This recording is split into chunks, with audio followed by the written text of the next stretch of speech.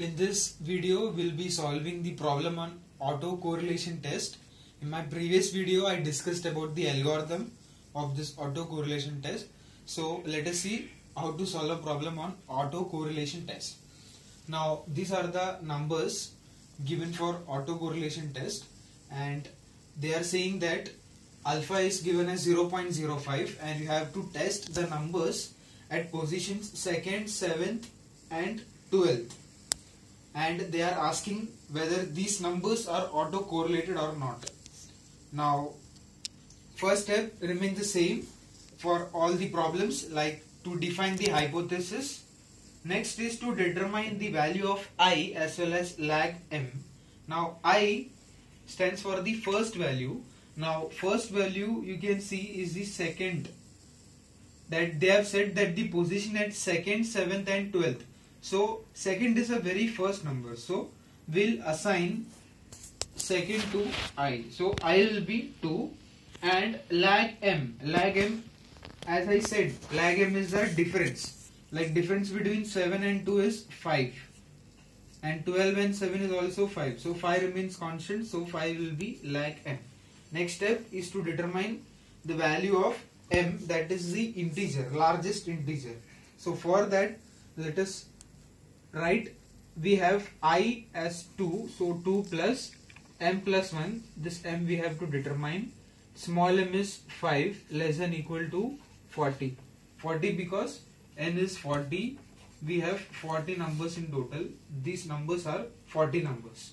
Next you have to solve this. So I will take this to that side.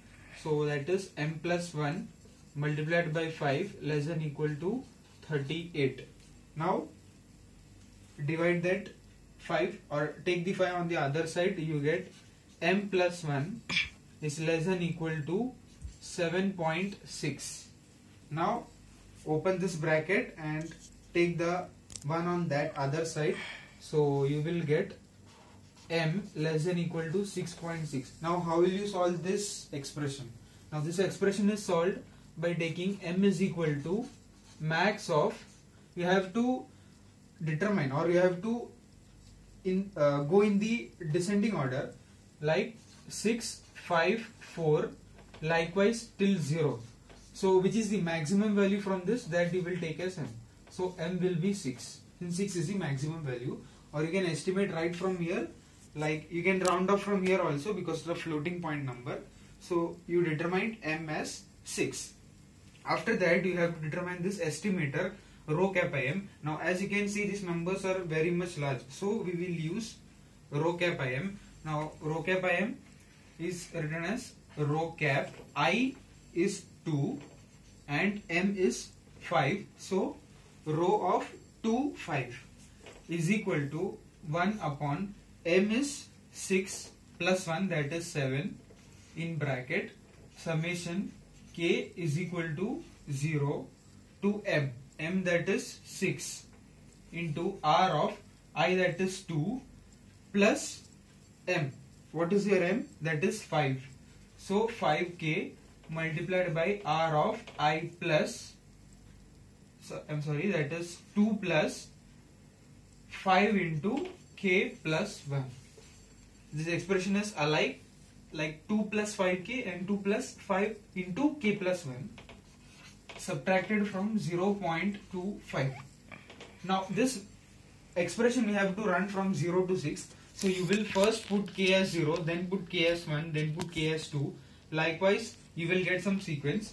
So that sequence is very interesting to see. So it starts from r2 multiplied by r7 then you will have plus r7 multiplied by now you have to add 5 to this because you have a lag of 5 so if you add 5 to 2 you will get 7 likewise with 7 you add 5 you get r12 plus r12 you have to repeat the same number again multiplied by plus 5 that is r17 plus 17 plus 5 that is r22 plus r22 multiplied by that is r27 plus r27 multiplied by 5 that is r32 plus R32 multiplied by 5 that is R37.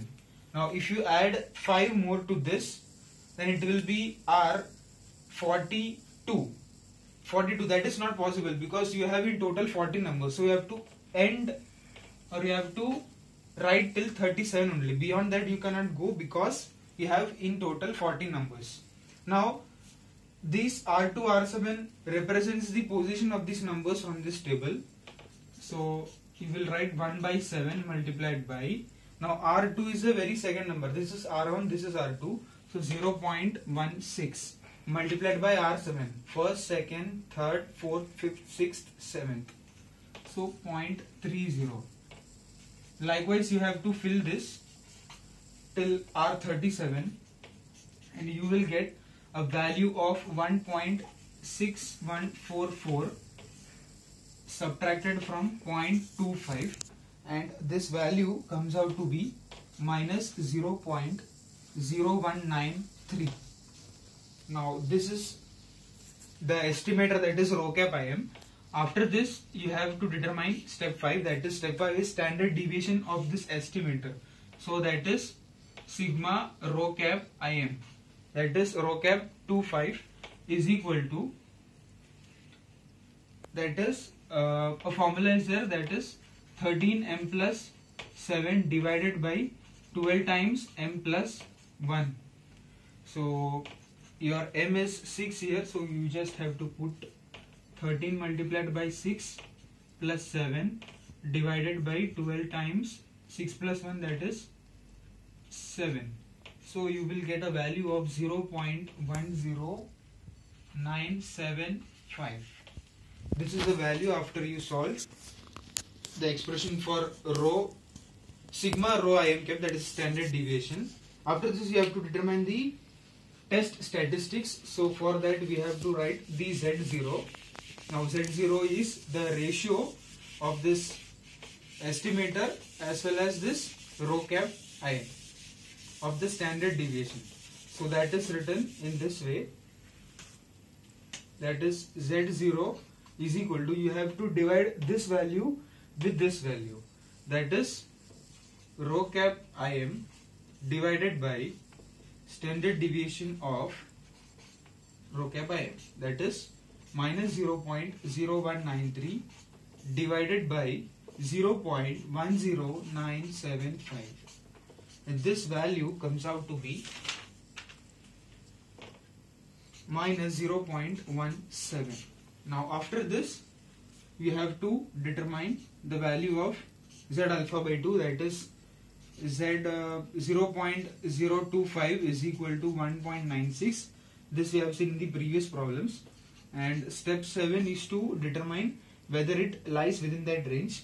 So 1 point minus 1.96 this value lies in between minus 1.96 and plus 1.96 and since this value or since this uh, negative uh, floating point lies between this range we'll say that the hypothesis H0 is accepted and therefore the numbers are independently distributed. So this is how you solve a problem on autocorrelation test. Hope you enjoyed this video. If you found this video helpful, please hit the like button and if you haven't subscribed to my channel, please subscribe. Thanks for watching this video.